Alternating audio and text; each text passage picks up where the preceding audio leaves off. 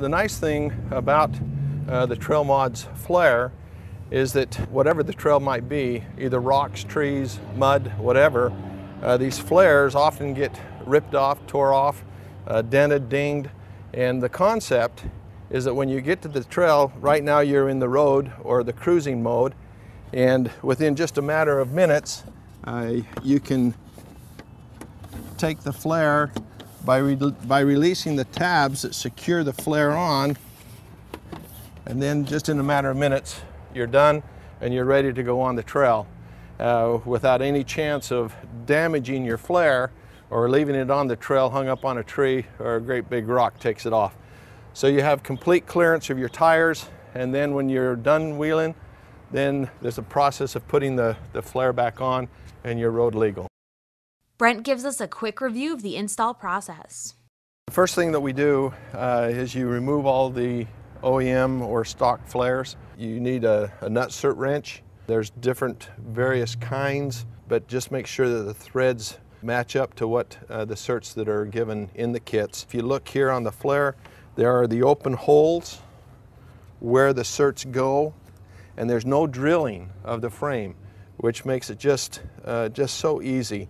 You put the frame in place and you go, okay, well, we know we need one here, so so you put the wrench in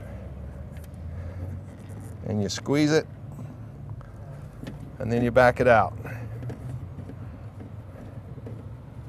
Uh, once you have the nutserts into the frame of the Jeep in the three places, you're ready to put the inner flare on the Jeep.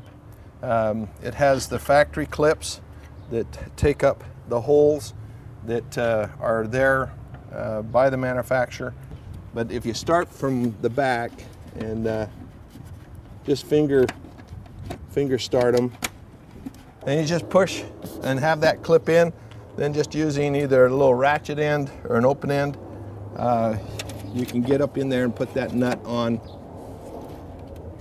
Um, and so when you get to the trail, you look like this. Uh, when you're running the trail, and when you're done with the trail, these uh, tabs um, there's uh, the tabs, there's a little trough that sits on the flare here, and that trough is the receiver end of the flare itself. And so once you have the flare, there's little holes that these tabs that you feed down through. And you reach down through there with those tabs and working from front to back.